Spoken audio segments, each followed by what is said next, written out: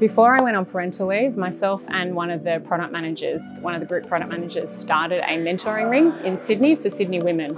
And so basically, the idea is that uh, a group of women get together and on a weekly basis, they um, they select the learning that they want, like what topics they want, and then they, they, they share their learnings with each other. So not one person comes in and says, I'm a senior X person in this role and I'm going to teach you. It's all about group learning. Um, and so recently, a couple of months ago, one of the development managers and myself kicked off those mentoring rings again in Sydney. And so we run that every week for a group of about 10 women and we're going to keep it on as a like just a continuing program with different women joining each and every time.